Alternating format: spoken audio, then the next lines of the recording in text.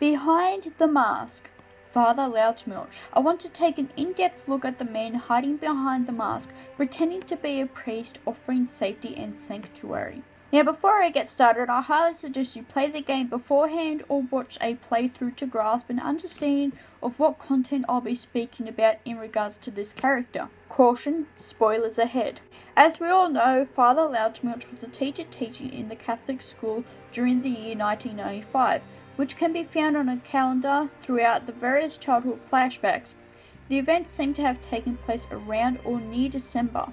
Now, Loutermilch, based upon theory and hidden messages in the game, was the priest that Jessica had come forward to with abuse going on at home. If you haven't seen my Behind the Mask Jessica Gray yet, I suggest you do so as I go in depth about the email she was sending and how it ties Loutermilch in. Though continuing on, Obviously, Loutermilch took advantage of the abuse going on at Jessica's home. He saw an opportunity to blackmail her in various ways, which one of these ways was informing her teacher that Jessica was a high liability if allowed on a field trip and that he had recommended that she remain behind with him doing library work. It's clear what his intentions were from the start, and you can clearly figure this one out for yourselves based upon how Loutermilch acts towards Jessica when it's finally revealed what happened to her towards the end of the game. Which brings me to go back just a little bit to where Jessica is leading Blake down the hallway.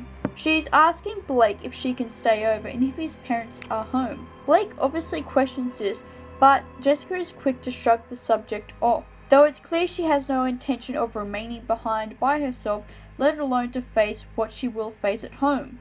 If this wasn't raising any red flags, then I don't know what was. However, it's very short after this that Loutermilch overhears Jessica, and he quickly comes out asking her, What don't you know, Jessica? It then goes on with Loutermilch saying, Let's step back into class, please. You can note that he is quick to put his hand on Jessica and gesture for her to go in towards the classroom. However, Jessica grabs Blake's hand and hopes to not be left alone with Loutermilch. So we can assume that when Jessica had started her library study with Loutermilch, that he began to become a little bit too close towards her, perhaps even sexually abusing her. Loutermilch, having noted that Blake was going with Jessica, quickly interjects by saying this. You don't want to get in trouble, do you? Loutermilch is clearly trying to intimidate Blake by telling him if he goes with Jessica, he will get into trouble. He also appears to be trying to tower over Blake as well, and his nature seems a little bit more assertive more so now. However, it's clear things don't go along to Loutermilch's plan, as Jessica drags Blake in, telling him to stay with her despite whatever consequences may happen. And of course, Loutermilch continues to try and blackmail and intimidate both children. Loutermilch's nature towards Blake is very clear. He appears to have no interest in Blake and only with Jessica. Now, when Loutermilch asks if he has to call their parents before turning to Jessica, asking her if he has to call her father, it's evident she is fearful, showing Loutermilch has taken full advantage of her father's abuse towards her. This response pleases Loutermilch as he smiles and seems to show affection towards her, having changed his attitude by saying, I only want to be friends. I only want us to be friends. Nobody's in trouble yet. Does one of you think you can make this right? However, he then asks who can make this right, and it would seem that Loutermilch believes that Jessica can. Clearly, another way to manipulate the children into believing that this will make things right, though it's probably more so for Blake's sake, as the young boy does not seem to register or pick up what's going on. Then, of course, Loutermilch gets Blake to back up out of the classroom, where it's later revealed as you head towards the exit of the school that you hear screaming and see Jessica running away, followed by Loutermilch. Upon discovering Jessica's death, Loutermilch tells Blake that whatever he saw wasn't what it seemed. This is about all the real footage you'd get to see of Loutermilch, and we can clearly tell that his attire is that of a priest. He also seems to have receding hairline, but a very interesting feature a large red mark upon the top of his head. At first, I thought this might have been like a health condition, so I did some digging around, and well, it's nothing like that. Though, as it turns out, this is just a very large birthmark. And if you pay a lot of attention to the monster you encounter in Outlast 2, it also has the exact same birthmark.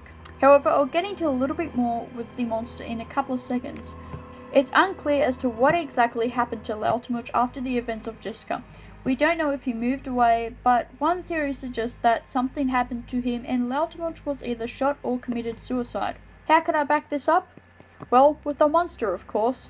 You see, the monster you encounter is Loutermilch, or a very distorted version of him based upon young Blake's fragile and frightened mind. But how does this back anything up? Well, that's a really good question. Let's start with the jaw, shall we? You see, the monster is missing its bottom jaw, and if you can make it out, there appears to be some odd holes on the top of the monster's head. Now, this could mean a variety of things, but only one thing seems to suit. A gun. Possibly a shotgun. This gun would have more than likely been placed below Loutermilch's jaw and shot off, causing Loutermilch's jaw to completely explode and shatter, the scattering bullet pellets probably also pierced up and through to his skull, causing those very holes. Now, why Blake sees this is a very good question as well. It's possible that Blake either witnessed this or he saw Loutermilch's body at some point. But truth be told, we may never know if Loutermilch did this to himself or if someone had done it to him. However, while we are focusing on the monster, there are some things that I want to talk about. The monster has a long tongue which it uses to ensnare Blake with. We can assume that this is representing that Loutermilch has a silver tongue, meaning he was very good with his words and knew what to say to get what he wanted. As for the hands, they are representing the fact that Loutermilch had probably touched Jessica and others in various places that should not be touched. This reflecting upon his perverted side, but also if you pay attention, you can see that one tiny deformed hand is actually moving on his groin area. Yeah, I know, right? Gross. And to think that thing was chasing us while doing that. Though, back onto the subject. The monster of Loutermilch represents various things that the man did behind closed doors, though there is more about Loutermilch than what we see in here in the game. It was revealed that the recordings from the childhood flashbacks revealed a hidden message from Loutermilch. It's unclear if he was sending these directly towards Blake or whether he was just mumbling to himself. Loutermilch appears to be thankful that Blake never told a soul about the truth of Jessica's death. Now, if you note in the messages, Loutermilch also thanks God for allowing him to share his bliss with the children. It's unclear as to what Loutermilch is hinting towards, but we can also assume where it's going by these following words. Those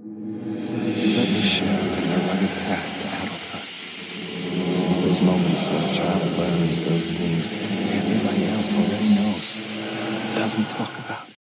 Now, in the notes that Jessica has left behind, those handmade notes, I should say, one of them actually says that the children are suffering, and combined with Loutermilch's words clearly means Jessica was not alone. The question does indeed come down to whether Loutermilch was sexual with any of the children. A lot of people that have been looking into theories clearly deny this for a lot of reasons. However, I personally believe that based upon Loutermilch's actions towards Jessica, being that of affectionate, says enough for me.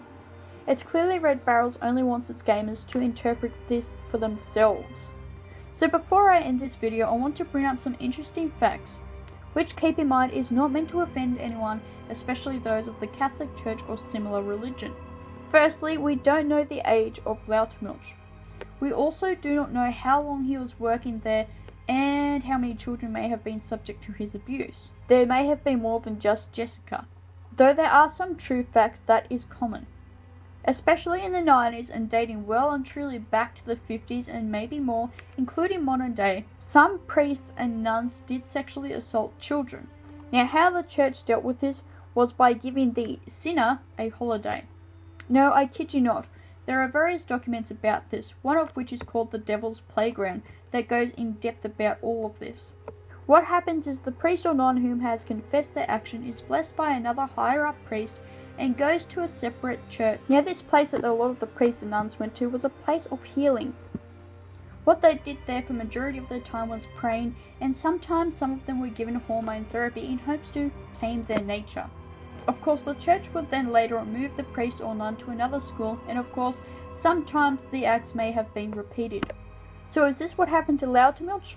Was he caught and did the church cover it up for him and send him away? Was he unable to live with himself and decide to kill himself? Heck, for all we know, he could have easily been found out and a parent might have done it in an act of anger and rage. However, the truth is, in the end, Loutermilch was a sick and twisted man taking advantage of children such as Jessica. He also covered up Jessica's death after he possibly beaten her up and tossed her down the stairs. The rest of his story is unknown and perhaps for the best. For now, I wish to thank you all for listening to me. Don't forget to thumbs up this video if you want to see more. And also, I want to know what you guys think in the comments about Loutermilch. Was I close to being right or far from it? Or if you have your own theories about Loutermilch. If you also want to keep up with the series Behind the Mask, Outlast stuff, including all Outlast related news, hit that subscribe button and stay tuned for more. Coming up next is the baby. But for now, thank you all and I will see you all another day.